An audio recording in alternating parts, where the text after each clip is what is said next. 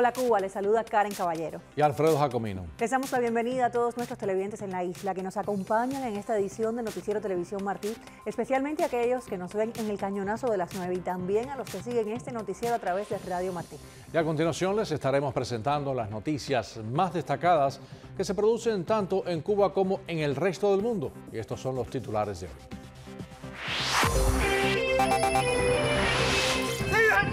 Organización Internacional denuncia aumento de la represión en Cuba con la llegada de Díaz Canel. Esto no era para 78 cubanos, esto era para todos los cubanos en Trinidad y Tobago. Migrantes cubanos en Trinidad y Tobago reciben ayuda de un buen samaritano. Ese es el transporte para ir a la escuela, para llevar a los niños a la escuela también. El régimen castrista decide alquilar bicicletas para aliviar la crisis del transporte en La Habana. Y en Miami enfrenta sentencia por lavado de dinero el ex tesorero de Hugo Chávez. Y en los deportes, el cubano Dayan Viciedo entre los más brillantes de la liga japonesa. Este es el noticiero Televisión Martí.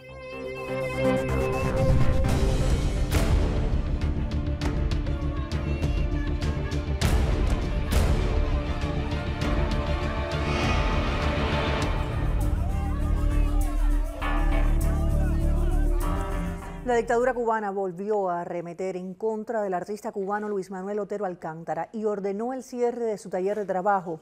Además, la Internacional Demócrata de Centro condenó el aumento de la represión en Cuba bajo el liderazgo de Miguel Díaz Canel. Grisel González tiene más información. El decreto 349 al artista Luis Manuel Otero Alcántara le cerraron su taller, según denunció el propio artista en su cuenta de Facebook, donde explica que por presión del gobierno, el centro comunitario Pilar Atarés decidió cerrar el contrato y expulsarlo del estudio. Alcántara es uno de los promotores más activos en contra del decreto 349 que criminaliza y somete la expresión artística a la visión del régimen comunista de la isla. Varios artistas independientes, como artistas oficiales, se han manifestado en contra del decreto que debe entrar en vigor el próximo 7 de diciembre.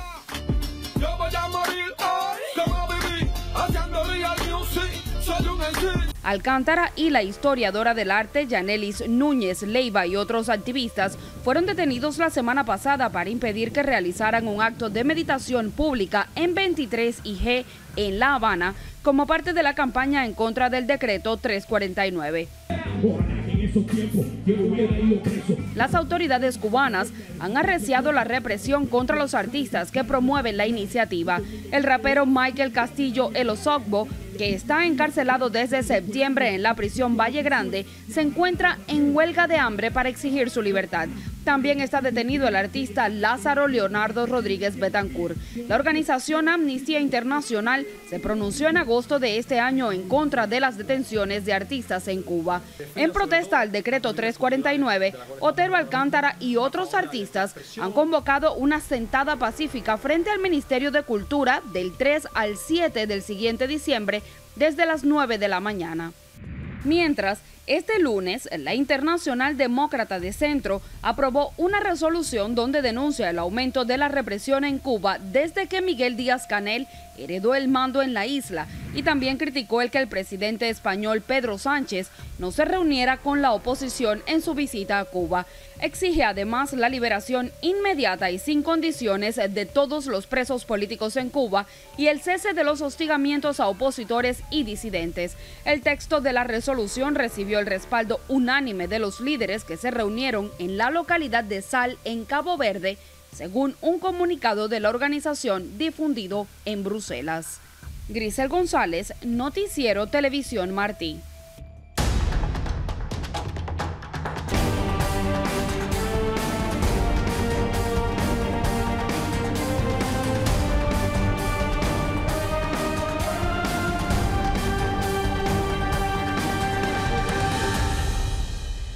Samaritano ayudó a migrantes cubanos en Colombia hace dos años y ahora otro lo hace en Trinidad y Tobago. Los 78 cubanos que fueron arrestados la semana pasada durante una protesta frente a la sede de la Agencia de Naciones Unidas para los Refugiados, ACNUR, podrán alojarse en un almacén puesto a su disposición por el propietario. Ricardo Quintana tiene esta historia exclusiva. Adelante, Ricardo. En efecto, Alfredo, Karen, bueno, como ustedes conocen, habían perdido la ayuda del ACNUR. Protestaron frente a su oficina y fueron acusados y encarcelados por dos días. Sin embargo, no quedaron desamparados gracias al gesto solidario de un empresario local de ascendencia india. Desde el campamento La Esperanza, porque así se llama, ese fue el nombre que le pusimos, La Esperanza.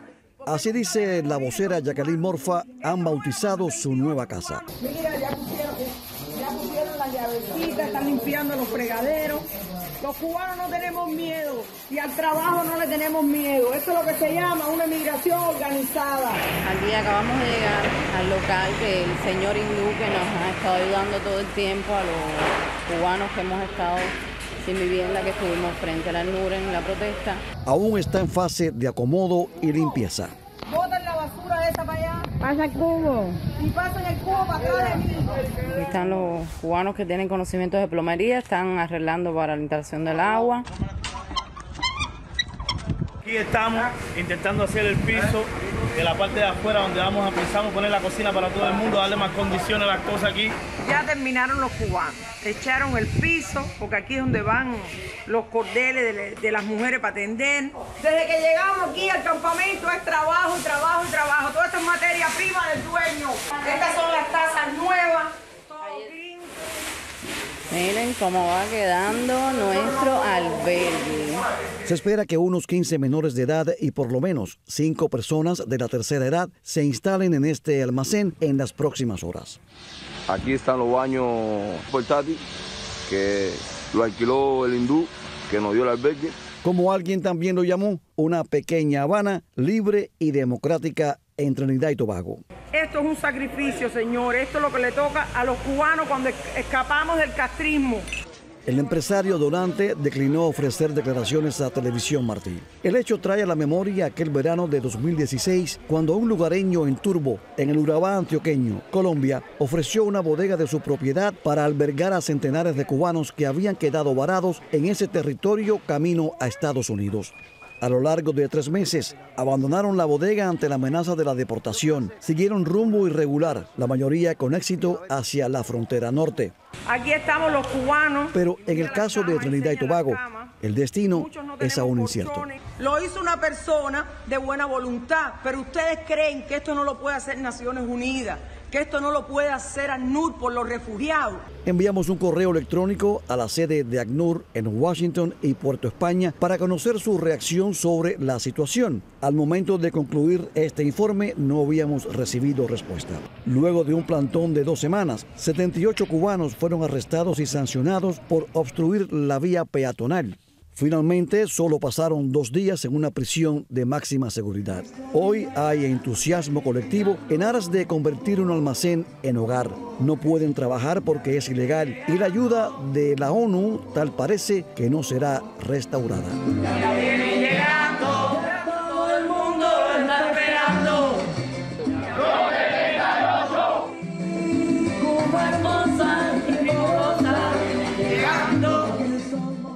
Bueno, y a manera de aclaración, los voceros de este grupo dijeron que el dueño de este almacén solo aceptó como inquilinos a los 78 cubanos que fueron arrestados y sancionados durante la protesta frente a la sede de ACNUR en Puerto España. Es todo, vuelvo contigo al estudio, Alfredo. Gracias, Ricardo. Por otra parte, el régimen castrista, en medio de una paupérrima red de transporte urbano, ha decidido alquilar bicicletas, pero potenciales usuarios califican el precio de la renta como exorbitante. Joandy Castañeda amplía. La Habana inauguró un sistema público de renta de bicicletas denominado Jabici como una alternativa para aliviar su congestionada red de transporte urbano. Pero para muchos, en las redes sociales, resulta un nuevo método de explotación de la dictadura cubana. 12 UC la hora es un precio cuando menos risible en un país donde el salario promedio no rebasa los 30 mensuales. Por su parte, expertos aseguran que serán pocos o ninguno los cubanos que usen este servicio. Varios medios de prensa recuerdan que la bicicleta representa un fantasma del periodo especial y la escasez. Era el medio de transporte ideal porque era lo único que se podía hacer. Eh, y entonces se tiene, ha arrastrado como esa, ese sentimiento de pobreza que se vivió durante todo ese tiempo. La intensa crisis económica de los 90 provocó que las calles cubanas se llenaran de bicicletas. El dictador Fidel Castro trajo millones de estos artefactos chinos. La bicicleta pasó a ser entonces el medio de transporte más común y el gobierno la utilizó como premio para estimular a los trabajadores estatales. Ese es el transporte para ir a la escuela, para llevar a los niños a la escuela también. Por la noche si vamos a salir a algún lado, ahí mismo se coge la bicicleta y se sigue andando en la bicicleta el día entero. No hay cifras exactas sobre la cantidad de bicicletas importadas desde China durante el periodo especial. Reportes de medio de prensa de la época hablan de 3 millones. Un estudio de la Organización Nacional de Estadísticas declara 2 y una fuente del Ministerio del Transporte cubano dice que fueron 5 millones. Eso cuando al principio del periodo especial, en los 90, que se fabricaban muchas bicicletas, muchas salían buenas, porque no le montaban peso, nada de eso. La bicicleta viene para una sola persona y nosotros queremos montarle cuatro. No obstante, el transporte público en Cuba es un tema sensible, sobre todo en La Habana, donde viven más de 2.5 de los más de 11 millones de habitantes del país caribeño. Malísimamente mal, porque veo que no entra aquí nadie. Mira para esto esta cola como está aquí al sol. Hace, hace dos horas que estamos aquí. Yo estoy aquí desde las dos y media y soy diabética, ya no tengo ni voz. Y es que como cataloga el sitio Cubanet, el cubano pedalea en la calamidad de un país sumido en la miseria. Giovanni Castañeda, Televisión Martín. Cubanos que no quieren afiliarse al régimen tienen que construir sus propios estudios de grabación musical que tratan de sacar adelante a pesar de la falta de recursos, según nos muestra el siguiente reportaje de Cubanet. La imposibilidad de poder grabar sus demos y producir música sin el control estatal dio nacimiento a los estudios de grabaciones particulares. Estos no cuentan con la tecnología y sus equipos son viejos que solo se pueden conseguir de segunda mano con un alto costo. Son de equipos de segunda mano que se resuelven a través de otros estudios que se, se compran y se venden. Casi todo lo que yo tengo son he comprado en La Habana. Y nada, es así como único se puede resolver cualquier cosa. No hay un ejemplo, un estudio donde tú puedas ir ahora y tú digas, no, que voy a ir a grabar aquí y todo eso. En todo caso, si lo hubiera, fuera muy demasiado caro miren, los precios no fueran asequibles. Otro problema son los programas de grabación que nunca se pueden actualizar y son conseguidos pirateados ya que no se pueden adquirir legalmente. Muchos de los software que nosotros utilizamos, hoy mismo estamos en el 2017 y en, Cuba, en Cuba completa el software de la preferencia se llama Cubase, Cubase, Cubase la versión 5 que es del 2009 si no mal recuerdo. Imagínate, estamos a como 7 o 8 años de diferencia pero todos son, todos son craqueados. Es decir, que estos software utilizan una licencia, unas cosas que se deben de pagar, pero nosotros no tenemos acceso a eso. El 70% de los músicos cubanos graban en estudios particulares. A pesar de ello, la ley no admite hasta el momento estos estudios independientes. La licencia más cercana que los productores pueden sacar es de profesor de música y otras artes. Si tú no produces, si tú no cantas, si tú no, no grabas tus canciones, no grabas lo que sale dentro de ti, se te, te, muere el sueño. Y si nosotros somos los aficionados que venimos relevando a, esos profesionales, eh, como hay quien dice, cuando ellos se retiren, no va a haber nadie atrás que pueda suplirle ese lugar donde ellos están. Siempre tenemos trabajo de todo tipo. Acá nosotros producimos lo mismo música electrónica, reggaetón, música moderna, todo tipo de música. Ander La Guerra Blanco para Cubanet. Ahora hacemos una pequeña pausa, pero antes queremos saludar a los compatriotas que nos ven diariamente en vivo en el Noticiero Televisión Martí, así como en el Cañonazo de las 9. Y esta vez especialmente a los residentes de Bauta y Bejucal. Gracias por acompañarnos en este viaje noticioso por Cuba y el mundo aquí en el Noticiero Televisión Martí. Thank you.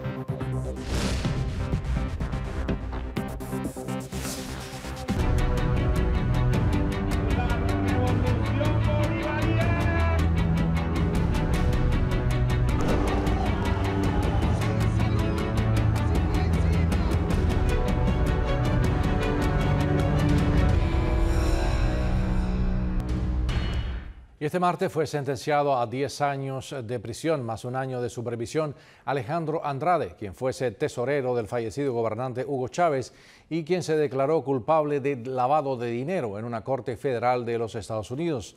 Andrade delató a una multimillonaria red de corrupción que supuestamente involucra al actual dueño de Globovisión, Raúl Gorrín, y el lavado también de casi 30 mil millones de dólares. El tema será analizado en la legítima Asamblea Nacional Venezolana. Alejandro Marcano Santelli amplía. Alejandro Andrade Cedeño fue arrestado por funcionarios del FBI tras incumplir un acuerdo de cooperación fijado en 2016 con la Fiscalía del sur de la Florida. Porque uno se pregunta, con tanto dinero, ¿por qué estamos en la situación en la que estamos? Bueno, tiene que ver porque el presidente Chávez a quienes muchos creen inmaculado, por cierto, era el gran cómplice aguantador de los hechos de corrupción. Alejandro Andrade, que fue testaferro del difunto Hugo Chávez, se declaró culpable de lavado de dinero en la Corte Federal del Sur de la Florida, donde acusó al dueño de Globovisión, Raúl Gorrín, y a otros dos venezolanos que viven en Estados Unidos de ser responsables de presuntos sobornos y lavado de dinero. Según documentos de la Corte, divulgados por la prensa estadounidense, el empresario chavista Gorrín está acusado de ser parte de un entramado de corrupción que supera los mil millones de dólares en sobornos el mismo informe habla de su asociación con un banquero venezolano para comprar un banco en República Dominicana con el específico propósito de lavar dinero. No está solamente eh, Gorrín involucrado en todo esto. Raúl Gorrín estaría involucrado, según la información que nosotros manejamos, en más de 7 mil millones de dólares en transacciones que hizo con PDVSA. Es decir, los mil millones que Alejandro Andrade reconoce que recibió por soborno se quedan cortos, ante la gran cantidad de dinero que solamente este, este, empresario pudo, pudo transar. La acusación fue presentada originalmente en agosto pasado. Alejandro Andrade pidió una pena no mayor de 10 años a cambio de seguir desvelando nuevos datos de esta red de corrupción, un tema que será tratado en la legítima Asamblea venezolana este martes. Se trata de que la cúpula corrupta que hoy en día gobierna Miraflores está vinculada en los años en los que Chávez gobernó, pero se hizo dueña del gran negocio en el momento que comenzaron a ejercer la presidencia de la República y colocaban incluso a los familiares de la primera combatiente como tesoreros. Es decir, para que el negocio que había sido tan jugoso en el momento de Chávez fuera jugoso ahora con el gobierno de Nicolás Maduro. El régimen de Nicolás Maduro no se ha pronunciado. Solo Vladimir Villegas, un periodista de Globovisión, afectó al gobierno y presuntamente vinculado a los negocios de Raúl Gorrín, dijo en su programa diario de televisión que el tema es un invento que solo se maneja en las redes sociales. Esos robots, vaya locura, hacen las veces de tribunales de inquisición y decenas, cientos e incluso miles de usuarios repiten tan mecánicamente como esos robots lo que no les consta lo que no ha sido verificado, contrastado y finalmente comprobado. El entramado de corrupción fue llevado a cabo en momentos en que Venezuela ya entraba en un periodo de dificultades económicas extremas que han generado condiciones de hambruna en Venezuela y empujado a la crisis migratoria más grande de la historia de la región. Alejandro Marcano Santelli, Noticiero, Televisión Martí. Y el desde enero del próximo año, Venezuela podría entrar en un periodo de transición democrática sin Nicolás Maduro en el poder. Así lo afirma Moisés Rendón, analista del Centro Estratégico de Estudios Internacionales en Washington, quien señala que más de 50 países de la comunidad internacional dejarían de reconocer la legitimidad de origen y de ejercicio del actual presidente venezolano. Natalie Salas tiene el informe. Gracias por hacerme presidente de la República Bolivariana de para el periodo El primer mandatario de Venezuela podría perder su legitimidad el próximo año justo el 10 de enero, cuando un nuevo periodo presidencial se inicia de acuerdo a la constitución del país. Según este analista consultado por La Voz de América, más de 50 países, entre los que se encuentran Estados Unidos, Canadá, la Unión Europea y varios en América Latina, no reconocerían a Maduro como presidente, trayendo como consecuencia un cambio en las relaciones con el Estado venezolano. Pueden expulsar a los embajadores de sus territorios, ¿no? Ah, y aceptar a nuevos embajadores, a lo mejor nombrados por la Asamblea Nacional, que es la, única institución legítima que, que quedaría en Venezuela después del 10 de enero. La comunidad internacional tal vez reconozca a la Asamblea Nacional como la institución de gobierno en Venezuela, lo que dejaría la puerta abierta para negociar la ayuda humanitaria que ha rechazado el actual gobierno de Nicolás Maduro. Sin embargo, eh, la presión va a ser mucho más grande si él decide aún no teniendo el reconocimiento de una comunidad internacional como presidente, seguir, tratar de seguir siendo presidente del país. Para Moisés Rendón, el Poder Legislativo debe tener listo un plan de gobernanza y restitución democrática para ese momento, pues según él es la manera de salir de forma constitucional de la crisis actual. Otra opción que no se descarta por completo es que la petición de diálogo ofrecida por el gobierno venezolano prospere. El diálogo solo le brindaría oxígeno a un régimen que no solo está a falta de recursos, que ha cometido crímenes de, de lesa humanidad, sino que además se le acabó su tiempo de legitimidad de origen. Según Rendón, al no ser reconocidos como figuras de poder, los actuales funcionarios sancionados por Estados Unidos pierden de inmediato su protección diplomática, por lo que pueden ser perseguidos y apresados incluso dentro del territorio venezolano. Otra fecha importante es el 5 de enero de 2019, día en el que rota la presidencia de la Asamblea Nacional, recayendo esta vez sobre el partido Voluntad Popular, que ha sido bastante activo en contra de figuras del gobierno venezolano, que pudieran ser juzgados en tribunales internacionales en el caso de que hayan cometido algún delito. Natalie Salas Guaitero, Voz de América, Washington.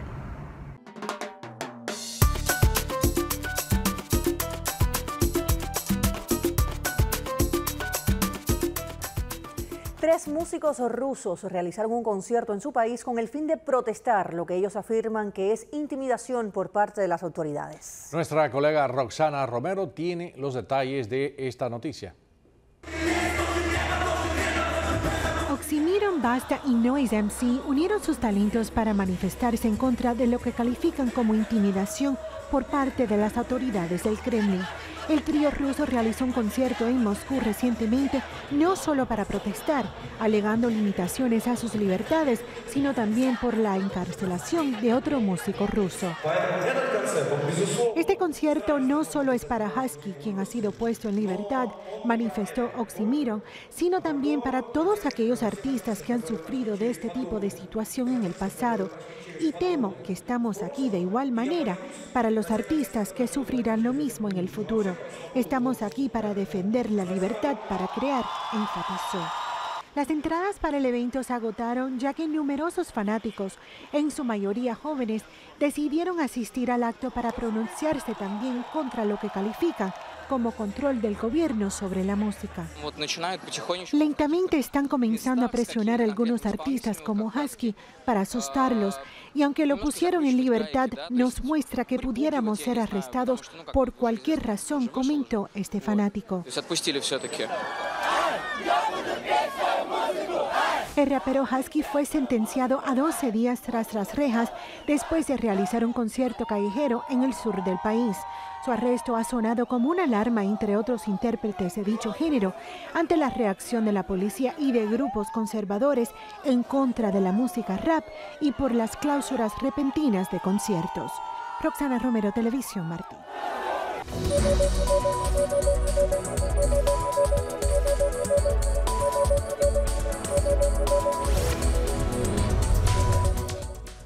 La oposición nicaragüense denunció que el gobernante Daniel Ortega impuso un estado policial al prohibir y desarticular cualquier manifestación contraria a su gobierno, así como la militarización de todo el país. Donaldo Hernández informa. En medio de la crisis sociopolítica de Nicaragua, el gobierno ha reforzado la presencia policial en colegios, universidades, centros comerciales, medios de comunicación y otros espacios públicos. Para Violeta Granera, líder de la oposición, estas acciones forman parte de lo que cataloga como un estado policial que el gobierno de Daniel Ortega ha instalado en el país. Los parapolicías, los, eh, los antimotines, la policía están regadas por todos lados. Ese es un elemento que te indica el nivel de militarización en el que descansa ese estado policíaco o estado de emergencia. La socióloga María Teresa Blandón explica que la prohibición de manifestaciones y la represión a cualquier expresión es otro elemento que indica que Nicaragua se transformó en un estado policial. Esto es un estado policía, policial, ¿no? Un estado de excepción, un estado donde de facto se suspendieron los derechos constitucionales. Pero el comisionado en retiro Francisco Bautista, quien fue fundador de la Policía Nacional, asegura que en Nicaragua no hay un estado policiaco y que las acciones del gobierno buscan evitar un caos social. lo que aquí tenés no es un Estado policíaco, lo que tenemos aquí es un Estado de Derecho donde las instituciones públicas, incluso la policía, está cumpliendo su labor para que los ciudadanos nicaragüenses, la mayoría de los ciudadanos nicaragüenses, podamos trabajar y desempeñarnos en las actividades sociales, culturales, económicas, etcétera. Si no es el Estado de Nicaragua, si no es la policía la que pone el orden, ¿quién lo va a poner? Aquí vas a tener la presencia de un caos y una anarquía absoluta. Las últimas acciones de la policía han sido cuestionadas por miembros de la Comisión Interamericana de Derechos Humanos y la Organización de Estados Americanos, quienes coinciden en que si en el país no hay ningún control judicial, se instaló efectivamente un Estado policial. Donaldo Hernández, Voz de América, Nicaragua. Y el expresidente de Panamá, Ricardo Martellini, Martinelli fue llevado a juicio este lunes por presuntamente haber espiado a unos 150 opositores durante su gobierno. Un juez panameño envió el lunes a juicio al expresidente Ricardo Martinelli por cargos de espionaje a unos 150 opositores durante su gobierno. El exgobernante es investigado por la Corte Suprema de Justicia y no por la justicia ordinaria, por su condición de diputado del Parlamento Centroamericano. Aún no se ha fijado una fecha para el juicio oral ante el máximo tribunal. Han violado todos mis derechos. Soy inocente y lo voy a probar. Pero no me dejan probarlo porque me niegan las pruebas. Martinelli está acusado de espiar entre 2012 a 2014 a políticos, sindicalistas, periodistas, empresarios y miembros de la sociedad civil opositores a su gobierno. El fiscal de la causa pide 21 años de cárcel por delitos como interceptación de telecomunicaciones sin autorización judicial, seguimiento, persecución y vigilancia. La violación de la intimidad se habría dado a través de la interceptación de correos electrónicos, llamadas de teléfono, audios y grabaciones de conversaciones privadas. Martinelli fue extraditado a Panamá en junio pasado desde Estados Unidos, donde estuvo encarcelado un año en una prisión federal de Miami.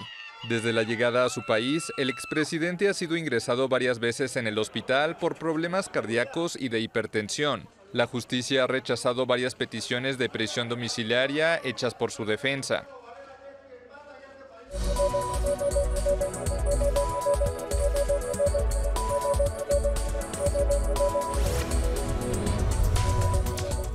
Ucrania y Rusia hacen frente a su peor crisis en los últimos años tras la captura el domingo de buques de la Marina ucraniana, un incidente que, según Kiev, representa una nueva etapa en el ataque ruso contra Ucrania. Rusia y Ucrania enfrentan su peor crisis en los últimos años. El domingo las fuerzas navales rusas dispararon y capturaron a tres buques militares ucranianos, lo que fue denunciado por Kiev como una nueva etapa en el ataque ruso.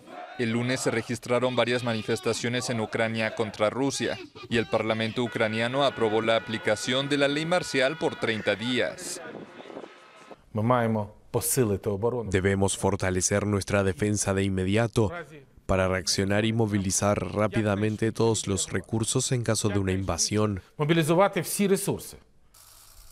Moscú justificó la acción asegurando que habían actuado en estricta conformidad con el derecho internacional y denunció una intrusión de embarcaciones ucranianas en las aguas internacionales rusas. Se produjo una violación y ocurrió con métodos bastante peligrosos. La maniobra en aguas rusas, por supuesto, podría haber creado y creó amenazas y riesgos para el movimiento normal de barcos en el área.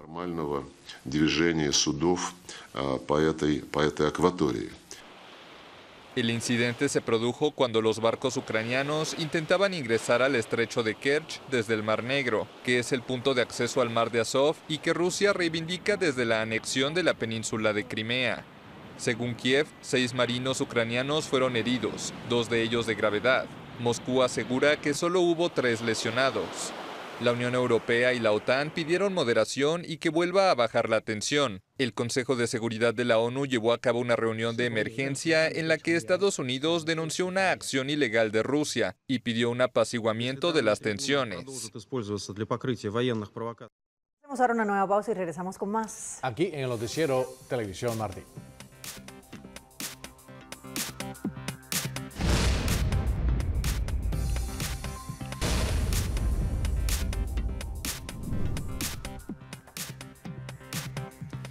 La empresa automotriz estadounidense General Motors recortará el 15% de sus 180 mil empleados en todo el mundo y cerrará cinco plantas como parte de una gran reestructuración para adaptarse a lo que calificó como condiciones cambiantes del mercado. La agencia francesa de noticias tiene los detalles. El gigante automotriz estadounidense General Motors anunció el lunes que recortará 15% de su fuerza de trabajo como parte de una gran reestructuración para ahorrar 6 mil millones de dólares al cabo de 2020. El plan eliminará parte de los 180 mil empleados de la empresa en el mundo. La compañía cerrará tres plantas de ensamblaje en Norteamérica en 2019, entre las que se cuentan una en Ontario, Canadá y las restantes en Estados Unidos. El primer ministro canadiense Justin Trudeau se dijo profundamente decepcionado por la decisión. General Motors también prevé el cese de actividades en otras plantas de producción, con el objetivo de enfocarse en su próxima generación de vehículos eléctricos. La empresa busca concentrar sus esfuerzos en los vehículos más rentables como camionetas y SUV. Otra consecuencia del plan es el impacto sobre el desempeño financiero de la compañía en el último trimestre de 2018 y el primero de 2019. El cargo excepcional será de entre 3.000 y 3.800 millones de dólares. Y así termina esta edición del noticiero Televisión Martí. Ya saben que estamos siempre aquí en radiotelevisiónmartí.com. Y también pueden enviarnos fotos, comentarios, videos, sugerencias, lo que usted desea. Noticiero televisión esa dirección que está en pantalla. Muchísimas gracias. Bueno, muchas gracias y será hasta mañana.